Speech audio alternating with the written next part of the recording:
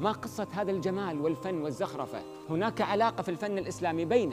الهوية والزخرفة لأن في كلام في آيات في أشعار يعني أنت في, في يعني في أطهر الأمكنة إذا اشتد شوقي هام قلبي بذكره وإن رمت قربا من حبيبي تقربا